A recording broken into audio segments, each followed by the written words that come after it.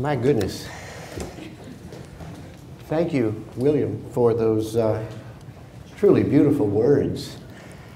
Uh, I'm overwhelmed. Uh, and the thought occurs that uh, we're just now looking for uh, uh, an admissions recruiter. And if you have any time on your hands, there is work to be done for the University of the South. At least think it over. Uh, I'm truly honored to be here with you this morning.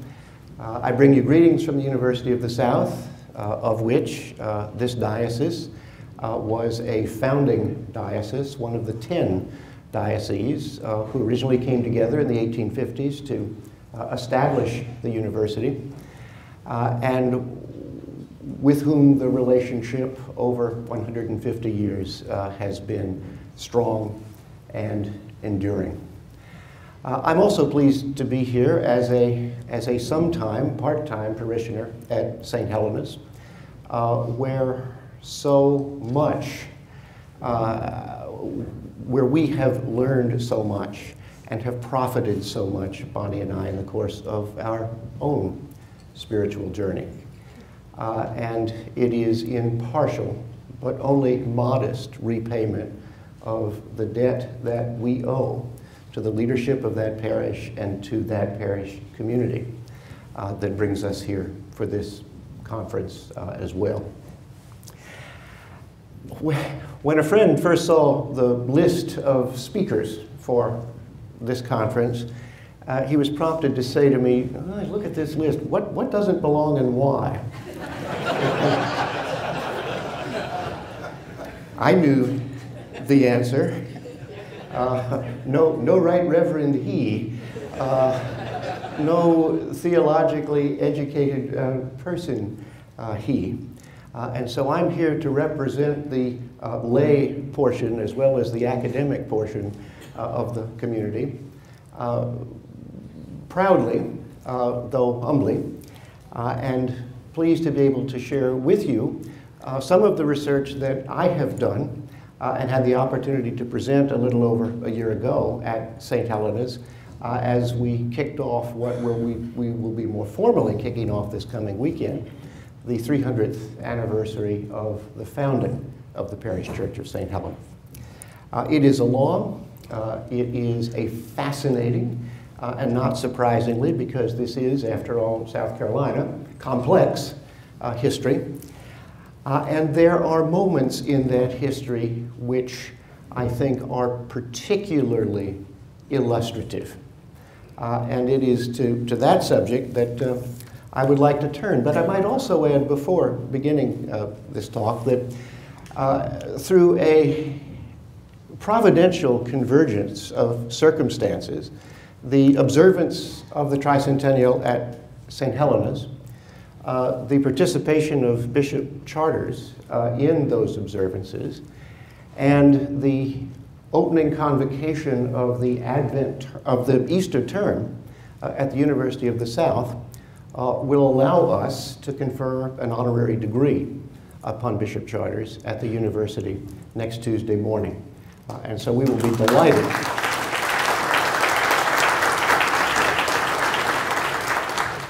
and we will be delighted and honored to have him with us uh, on our campus for that occasion uh, on that day.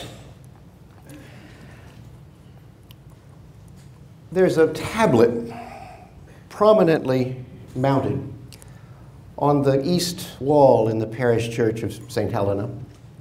It's placed to the left of the lectern, and it memorializes the service of the Reverend Joseph Rogers Walker, who served as rector of the parish from 1823 to 1878. Think about that. Think about that not just in terms of the longevity of service. Think about the history that man, as well as that parish, experienced. In summarizing his extraordinary tenure, this tablet invokes the Latin epitaph found on the tombstone of Christopher Wren at St. Paul's, London. Si monumentum requiris circumspicere, which translated means, of course, if you seek his monument, look around you. There could hardly be a more fitting admonition, a more appropriate memorial. But if there were, it would be the passage from Acts read at last night's evensong, which also happens to appear on that memorial tablet. For he was a good man and full of the Holy Ghost and of faith, and much people was added unto the Lord.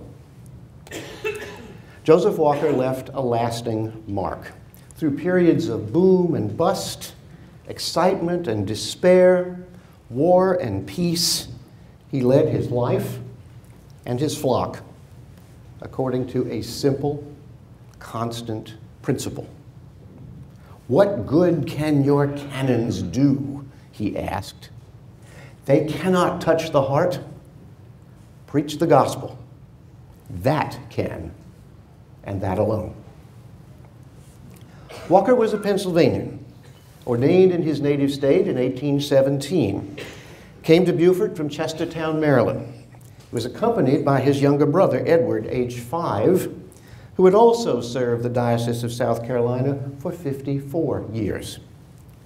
Both brothers married well. Edward wed Anne Barnwell in 1844. Joseph married Mariana Rhett in 1830. The young, energetic new rector was of the evangelical persuasion, very much in the tradition of Lewis Jones, who had played so prominent a role during the early years of St. Helena's. Within five years of his arrival in Beaufort, membership in the church had doubled. His influence could be seen everywhere. Worship services on feast days, Wednesday mornings and Friday evenings, as well as on Sunday. Holy Communion on the first Sunday of every month, a children's education program, and a growing library to nurture the parish and the Sunday school. St. Helena's also played a leadership role in the Protestant Episcopal Society for the Advancement of Christianity in South Carolina. And in 1824, the parish contributed what historians have termed a significant amount to the new General Theological Seminary in New York. The decade of the 1820s, as many of you know, brought change to South Carolina and surely affected Beaufort. And we can only begin to understand the impact as well as the effect of this revival by looking at this larger historical context. In the wake of a serious depression that occurred in 1819, the price of cotton plummeted by 57% and didn't fully recover until the early 1850s. The opening of rich new cotton lands to the west drew South Carolinians to the prospect of a fresh start. The 1830 census revealed that during the previous 10 years, 56,000 whites and 30,000 slaves had left the state. This out of a total population of 586,000, a significant decline in population. And so one can't fully begin to comprehend the impact of so wrenching an adjustment to the economy, to social institutions, and to expectations for the future. But one can catch glimpses, the most revealing of which involve the growing tension between the Palmetto State and the federal government over tariff policy. Now, rest assured, I'm not going to uh, deviate from the subject at hand and I've taught history for enough years to know that the mere mention of certain terms cause the eyes to glaze over, and one of those words is tariff. So, just briefly, a sentence or two about the tariff, because it mattered at this moment. As the price of cotton declined, the impact of this tax on imports, the tariff, became more pronounced. South Carolinians sold that chief staple, cotton, in a free market but bought manufactured goods in a, in a, protected market. To Vice President John C. Calhoun and to many other South Carolinians, tariff policy seemed to discriminate against an entire section of the country. So exercised did many of them become, and so frustrated did, so frustrated did they feel over their inability to seek a remedy from what they believed to be a hostile majority that they embraced the doctrine known as state interposition, better known in Calhoun's formulation as, as nullification. Nullification argued that the Constitution was, in fact, a compact freely entered into by sovereign states who were thus ultimately the arbiters of constitutionality, of the constitutionality of particular federal policies, a not unreasonable proposition. When those policies turned out unfairly to discriminate against a state or a group of states or a portion of the population, those states had the right, indeed, Calhoun argued, the duty to interpose themselves, to place themselves between the federal government and the execution of the alleged unconstitutional act. A state could and should nullify such laws and declare them inoperative within a state's boundaries. I tell you this because at the time of the Beaufort Revival in 1831, the crisis over the tariff and the crisis over nullification and the very future of the still fragile and young Union was very much uncertain and very much at risk. By 1830, these differences had placed the Union, in short, on the verge of a crisis. Some far-sighted South Carolinians declared that if left unchecked, a hostile majority could, impose its will whenever it chose, and not simply on tariff matters, but on other matters as well. On exactly what other matters became abundantly clear on New Year's Day, 1831, with the publication of the first issue of The Liberator. Edited by William Lloyd Garrison, an outspoken, uncompromising advocate for the immediate abolition of slavery, and published in Boston, The Liberator reminded embattled Southern planters of how their peculiar institution might someday also be at risk. In his very first issue, Garrison chose to review a publication called Appealed, Appeal to the Colored Citizens of the World, first published in Boston a year earlier by David Walker, a free black from North Carolina. Walker's words were unambiguous. Brethren, arise, he urged, and strike for your lives and liberties. Now is the day and hour. To white Americans, he added, your destruction is at hand. Despite the effort of postmasters to suppress circulation of the appeal, and even though most Southern slaves were illiterate, the pamphlet found its way south, and its message, if only rarely, got through. One cannot possibly, therefore, understand the momentous events that took place in Beaufort in October of that year, 1831, without grasping this context, which began to be shaped even more fully by the increasingly aggressive abolition movement, and is further made clear to us and more interesting to us by a simple checking of the calendar. On February 12th of that year occurred a total eclipse of the sun, always an omen. On July 4th of that year, the death of former President James Monroe, the third former President of the United States to die on the nation's birthday. John Adams and Thomas Jefferson had both died on July 4th, 1826, on the 50th anniversary of American independence. Now another former president dies on that same date, another omen. And then on August 22nd, a slave uprising in Southampton County, Virginia, led by the charismatic Nat Turner, which resulted in a two day rampage of indiscriminate killing of white men, women, and children. Meanwhile, the nullification crisis mounted. On July 26, Calhoun issued his Fort Hill letter, acknowledging his authorship while vice president of essays promulgating the doctrine of state interposition. The letter made dire linkages. The tariff Calhoun wrote was simply, in his words, the occasion rather than the real cause of the present unhappy state of things. The truth can no longer be disguised.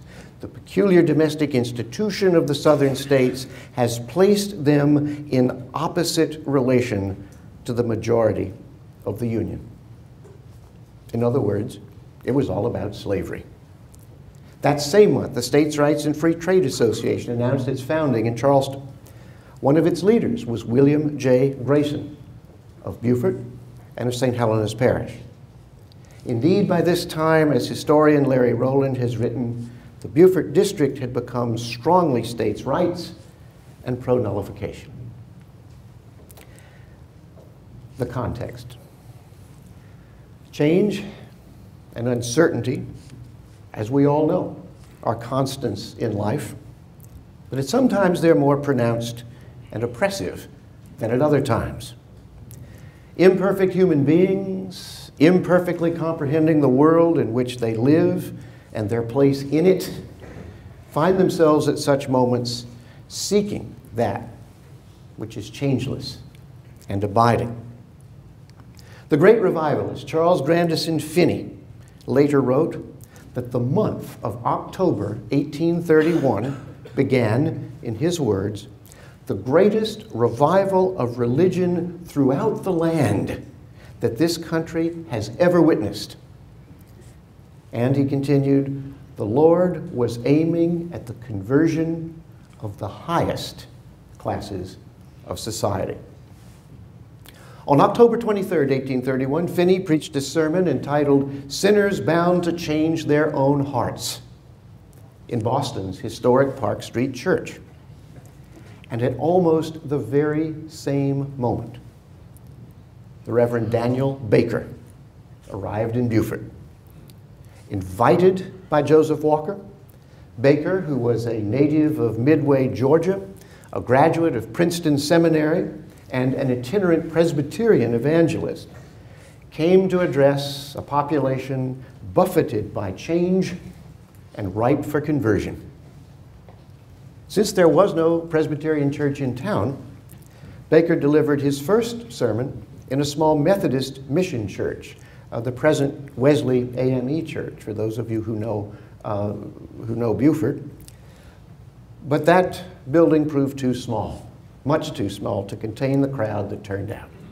The only buildings of suitable size were the Baptist and Episcopal churches, and so over the next 10 days, services led by Baker alternated between the two.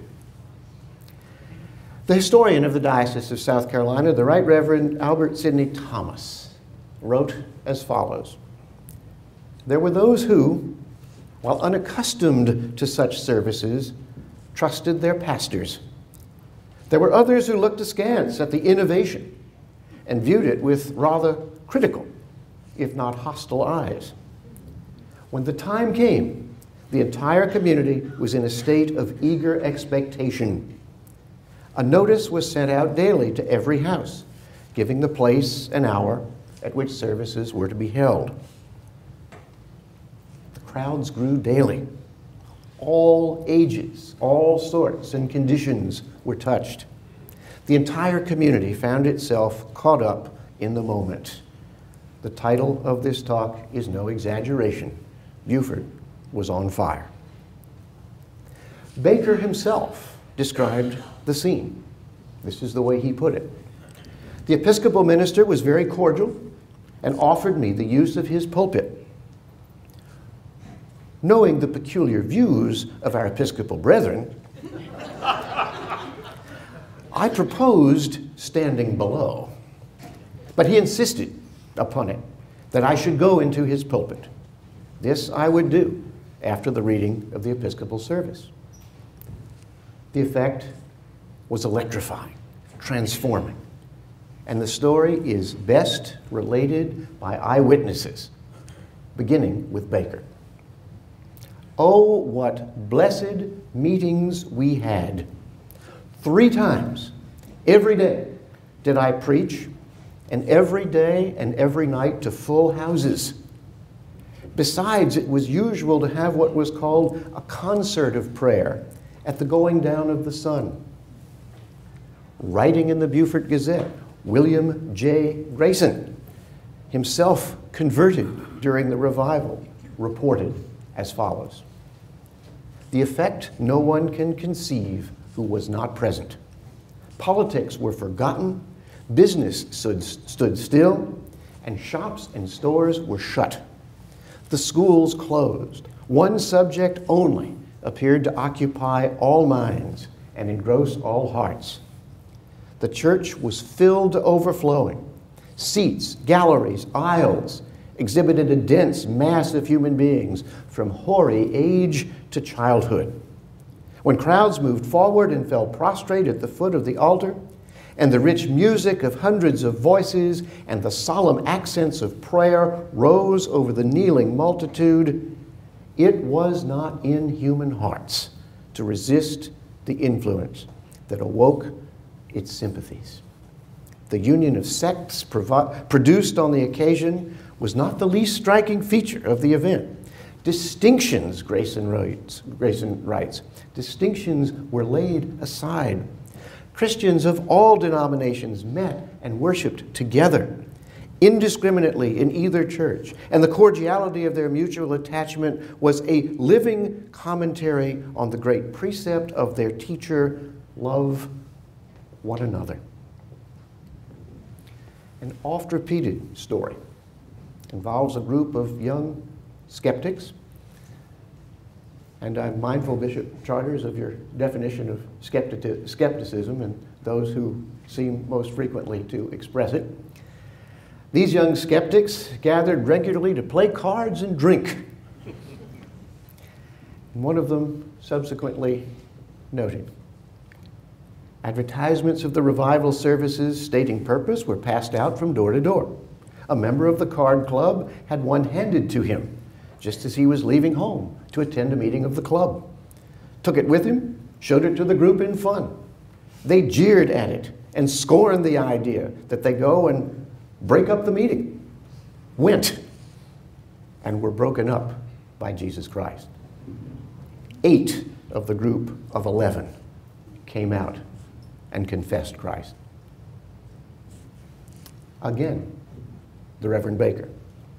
The whole number of persons hopefully converted amounted to about 80, embracing many heads of families and individuals of almost every age from 14 to 86.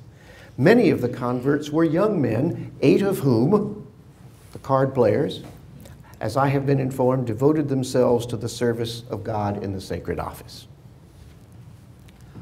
What did Baker say that so riveted his congregation and so touched their hearts and their souls? And how did he say it? An eyewitness offered this description There was none of the ranting in his speech of manner which we had expected. He spoke quietly, but with deep conviction. As I listened, a sense of the rightness of what he was telling me gave me a sense of excitement. It came to me as a glorious revelation that salvation through Jesus Christ was meant for me. Now, this may come as a surprise when one thinks of uh, the, the, the, stereotypical uh, uh, expectation of revivalist preaching behavior. Uh, and yet, what is astonishing, or perhaps less astonishing, about this account of Baker's presentation uh, in the pulpit uh, is that it so closely resembles accounts of another great American preacher from the colonial period, Jonathan Edwards. People who don't know Edwards very well often associate him with what was perhaps his most famous sermon. You know the title, and you probably even know some of the lines from it Sinners in the Hands of an Angry God. And in that sermon, he talks about we're as a spider suspended over the flame. Uh, those who don't know the full story of that sermon assume that Edwards stood in the pulpit and slammed his fist and shouted out to the crowd and exhorted them about being a spider suspended over the flame. That's not the way he delivered it. Eyewitness accounts of Edwards say that he kept his eyes focused on the cord of the church bell in the rear of the church and in a voice that was barely audible that his congregation had to strain to hear. You are as a spider suspended over the flames of hell. That was Baker's approach as well. This was not ranting and raving. This was quiet, serious, riveting preaching. And Baker can best be heard in his own words. As I was uh, preparing this talk originally, uh, I stumbled across, in the most improbable way, uh, a collection uh, written late in his life by Baker himself of the texts of the sermons he delivered. Now, acknowledging, as all historians must, uh, the limitations of what is recalled after having said something, what one said. Uh, nevertheless, there were such recurrent themes in the sermons by Baker that I have to believe what he wrote down toward the end of his life is more than a rough approximation of what he actually said in the pulpit. But uh, on the cover, and it's a paperback of um, these sermons by Baker, is the photograph of a football coach uh, and his football team gathered around him. Uh, and these sermons were republished principally for that purpose. Uh, how, how, how to give uh, uh, an inspirational locker room talk at halftime uh, to get the team to take the field. So, if one were to look for these under uh, theology or under church history, one would search in vain. Daniel Baker uh, is uh, most readily found uh, in a very different uh, department. But I found this book, and from it I quote uh, to give you some sense of the flavor of what Baker said during these 10 tumultuous days in Beaufort. Awake one, awake all for eternity is nigh, even at the door, and the night cometh when no man can work. Let no one trifle with matters of such high import. The Bible is true, and all its declarations may assuredly be depended upon. The argument for the inspiration of the sacred volume drawn from prophecy is of itself convincing. And the man who is an unbeliever in view of the evidence drawn from this source, would not believe though one rose from the dead. Thus, his first message the Bible is divinely inspired and the source of all truth. And one immutable truth pressed upon these Beaufort auditors is that we all must die. Young man, young man, listen to me. I repeat once more what I've said before. Your Christian mother is right. The Bible is true. And if you die without the repentance which it enjoins and the Savior which it reveals, mark my word, in the great day of judgment, you will wish you had never been born. And now, my dear friends, one and all remember, we must die. We cannot help it. And remember, after death comes judgment, and once lost, lost forever. When death's leaden scepter is laid upon our cold bosoms, no mistakes can be rectified anymore. For as soon as the breath leaves the body, the decree of an immutable God rolls over the shrouded form. Immortal man, take care. Great interests are at stake. See to it that you be upon the safe side, for I repeat, once lost, you're lost forever. But, and as we all know, there is, there must be a but, a however. What does the Christian religion do? It sheds abroad a Savior's love in the heart, gives the sweet assurance that our sins are all forgiven for Jesus' sake, that the eternal God is our Father, that heaven is our home, and that if the earthly house of this our tabernacle be dissolved, we have a building of God, a house not made with hands, eternal and on high. And the beauty of the thing is this that when afflictions come and comforts are most needed, then the consolations of religion are strongest and most abundant. For religion teaches every child of God that afflictions are all ordered in mercy and are but the sterner voice of God's parental love. Yes, and in the darkest hour, here speaks the Comforter in God's name, saying, Earth has no sorrows that heaven cannot cure. This, my brethren, is certainly a great thing for man in this vale of tears, in this land of trials, troubles, disappointments, sickness, sorrow, and death. And so, for the sinner who confesses and gives his life to Christ, there is a peace that passes all understanding. Again, Baker, I have seen sinners coming to Christ. I've seen them in the day of their conversion. Oh, what a blessed moment! What a glorious change. The soul has new feelings, the heart has new joy. Everything within is pleasant, everything around is lovely. The sun shines more brightly, the birds sing more sweetly, the flowers are more beautiful, and the grass looks more green. Yes, it is even so. Sometimes the young convert feels as if he had entered into a new world, rejoices with joy unspeakable. And so, the moment of rebirth is at hand. Oh, that this day, he concludes, may be with you the day of decision, the birthday of your precious souls. Oh, come this day and cast in your lot with the people of God. And let us all have one lot, one Jesus, one heaven, one home.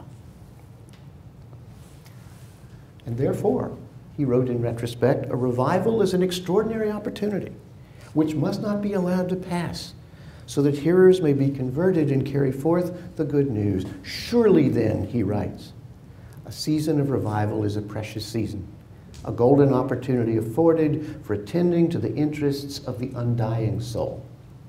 Do not, I beseech you, do not let such a season pass unimproved. After 10 tumultuous, dramatic, transforming days, the end of October, Daniel Baker left Beaufort. Nothing would ever be quite the same again. William J. Grayson wrote in the Beaufort Gazette The results of this revival upon the congregation in Beaufort are as follows. The number of communicants was increased manifold. At the first bishop, at the first visit of Bishop Bowen to St. Helena's after the meeting, 70, chiefly of the young, the refined, and the wealthy, presented themselves for confirmation sincerely offering their hearts to God. About the same number of whites and very many blacks also joined the Baptist. It is a singular fact attesting the disinterestedness of the preacher that out of two or three hundred conversions in Beaufort under Mr. Baker's ministry, not one became a Presbyterian. to Grayson, that was a measure of success. Maybe. The Episcopalians and the Baptists reaped the fruit of his labors. Some years later, a South Carolina clergyman noted, it seasoned with its holy savor all the intercourse of society and cast it into the gospel mold and stamped it with its holy features. The world was in the minority. The gospel had a strong majority and asserted its power over the hearts and morals of the community. For 20 years since, there has been a higher moral and religious tone, a more intelligent and consistent profession of Christianity maintained in that little town than in any other which the writer has visited. The leaven of that revival has already penetrated the mass of our church in this diocese. It has infused a new life into the episcopacy and awakened a more earnest and evangelical uh, spirit in the hearts of clergy and laity. It has molded much of the doctrinal and ecclesiastical sentiment now prevailing among us and stimulated that missionary feeling which has given our diocese a high place among the warmest friends of missions. In addition, 11 Baptists and 40 Episcopalians eventually entered the ministry, four becoming bishops. Of these, three hold particular interest. One is a man named Richard Fuller, who described his moment of conversion, October 26, 1831, as being overcome by what he called oceans of joy. Fuller would go on to become a leader in the Baptist Church, a founder of the Southern Baptist Convention, and a respected church leader in Beaufort and later in Baltimore. A second, closer to home in many ways, is Stephen Elliott, who was born in Beaufort in 1806, attended both Harvard and South Carolina College, and became an attorney. Elliott returned to Beaufort to practice, abandoned the law in the wake of the revival, entered the ministry, and in 1840 became the first bishop of Georgia. A distinguished scholar and preacher, Elliott would later receive honorary degrees from Trinity College, Columbia University, the University of Georgia, and in the 1850s, he would become one of the three founding bishops of the University of the South in Sewanee. And a third is William J. Boone, a native of Walterboro and a graduate of South Carolina College. Boone was one of the eight card players who attended the revival on a lark. And he describes his experience in this way. I went again the next night. I did most of, as did most of my whist club comrades.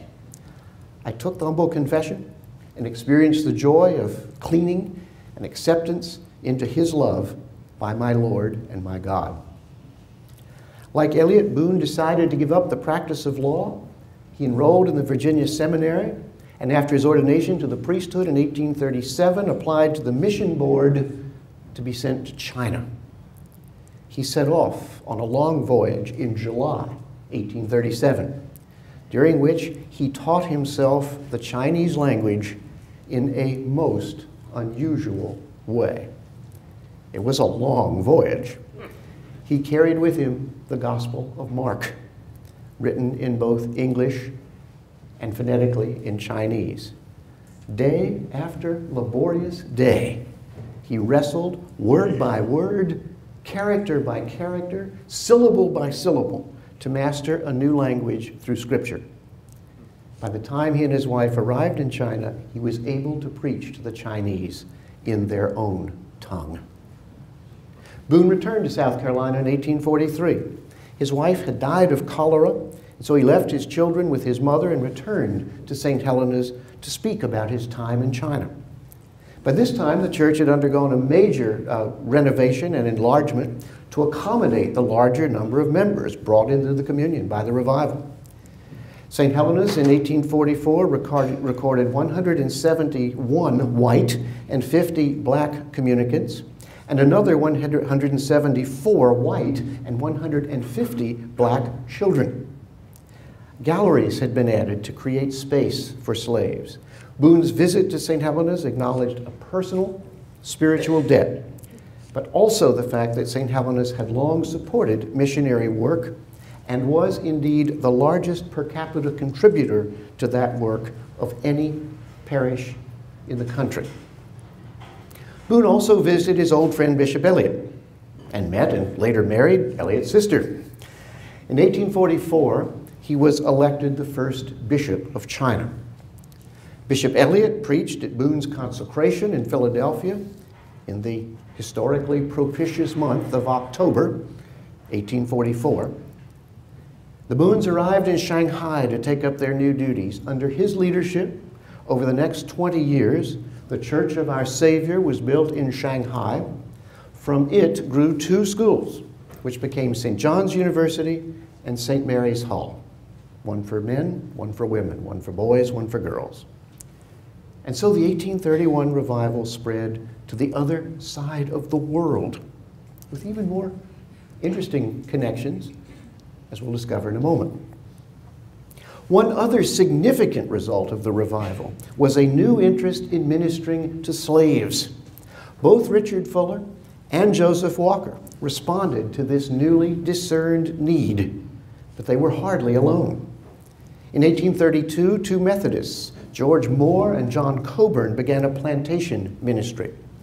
They established on the Dataw Island plantation owned by Lewis Reeves Sams what they called a comfortable house of worship for slaves.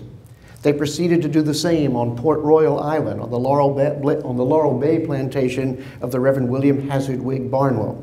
At Cuthbert Plantation on Ladies Island, they baptized 39 slaves. Stephen Elliott, the cousin of Bishop Elliott, built a church on the Combahee River for slaves. Edward Walker, brother of Joseph Walker, did the same on St. Helena Island. This is remarkable, and these local efforts were mirrored statewide. The Episcopal Diocese of South Carolina drafted in 1837 a catechism to be used by teachers in the religious instruction of persons of color. By 1845, diocesan leaders, including Beaufortonians Robert Barnwell Rhett and William Wigg Barnwell, eventual secessionists, joined to declare in their words religious instruction of the Negroes is the great duty and, in the truest and best sense, the fixed and settled policy of the South. Over time, these efforts created what historian Larry Rowland has described as a distinctly African American form of evangelical Christianity, a fusion of African music and language with the revivalist message of confession of sin and spiritual rebirth. One can only speculate, and one might well speculate, whether these remarkable efforts had other objects beyond simply the salvation of slave souls in view. That speculation might fix on the thoughts of Bishop Elliott in particular. Elliott believed that the peculiar institution was, in his words, a trust committed to the South by God, which had been forced on a protesting Georgia by the greed of English and New England slave traders. But, he continued, already is Christianity laboring to elevate the being of the Negro population and from year to year, their condition improves, both spiritually and physically. They will soon be our equals as regards morals. And when they become our equals, they can no longer be our slaves. Bishop Elliott. Elliott labored unstintingly to bring Christianity and religious instruction to slaves throughout the Diocese of Georgia. Speculation might be further informed by learning Bishop Elliott's response to the defeat of the Confederacy and the end of slavery in 1865. We have always welcomed them, he said, to our churches and altars. Let us continue the same. We shall lead these people, once our servants, but now not servants, but above servants, as brethren beloved and present them to Christ as our offering of repentance for what we may have failed to fulfill on the part of our trust. But it may be asked Do you regret the abolition of slavery for myself and my race? No. I rather rejoice in it. For at least this one visible, distinguished, and prescient product of the 1831 Beaufort revival, the conversion experience would lead ultimately to emancipation, not only from the bonds of sin, but also from the shackles of slavery. But we'll never know because gradualism and moderation on the slave question were becoming increasingly difficult. But our central topic is the 1831 revival. And to it, in conclusion, I now return. The consequences of this revival would be hard to overstate. It moved hearts, saved souls, transformed the community and the diocese. It reinforced and broadened an impulse to outreach in the name of Christ to town, to plantation, to foreign parts, and to all the churches where those converted, some 50 in all, would go to serve the rest of the country, the rest of the century. It defined, shaped, and directed the remarkable 55 year tenure of Joseph R. Walker as rector at St. Helena's.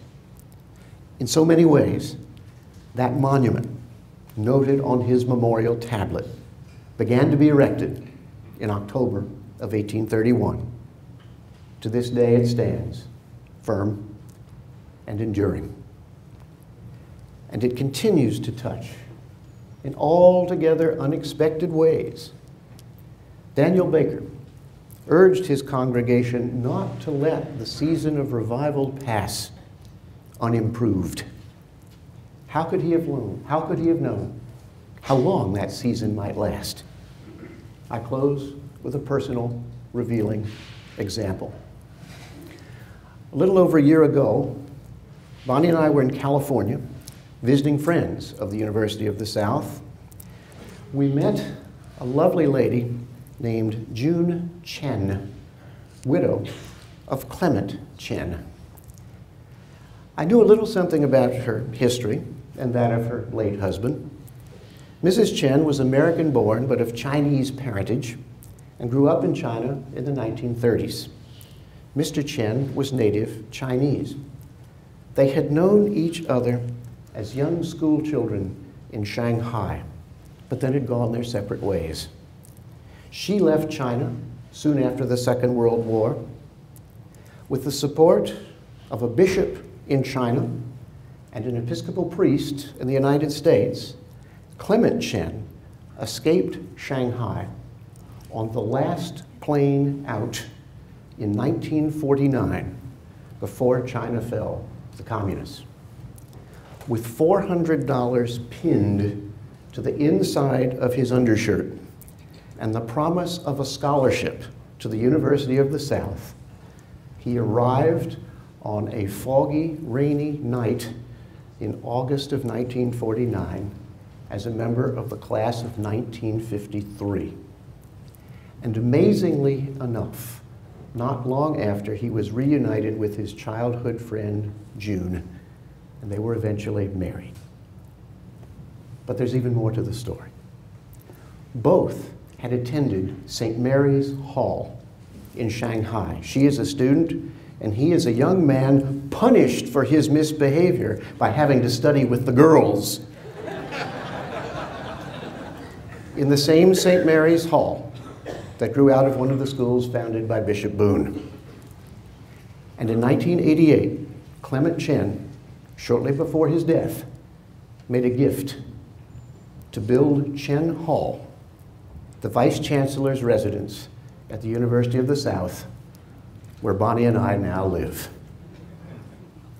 From St. Helena's to China to Sewanee to Beaufort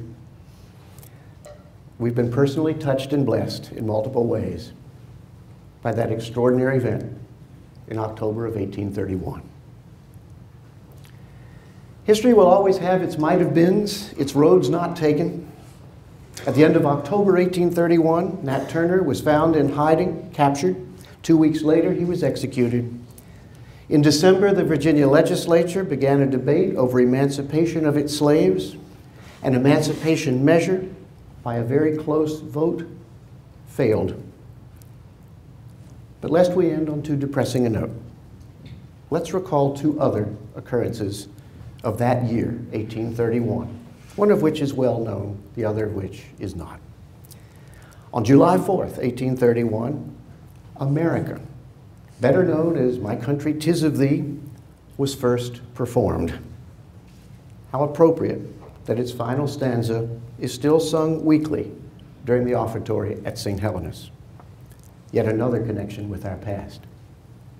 And less well known, in that same year, William Bathurst composed a little known hymn whose words nonetheless speak as directly and simply and eloquently to the, to the spirit that suffused that community in October of 1831 and that has lingered down to the present hour.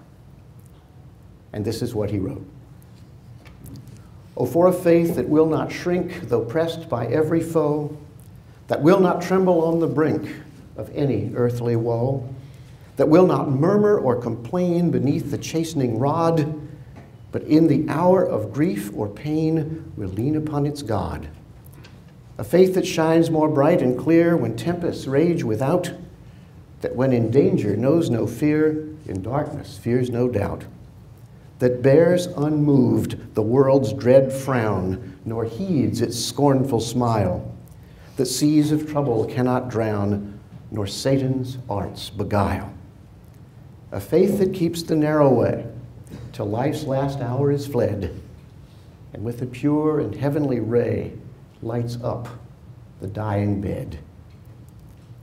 Lord, give me such a faith as this and then whate'er may come, I'll taste e'en here the hallowed bliss of an eternal home.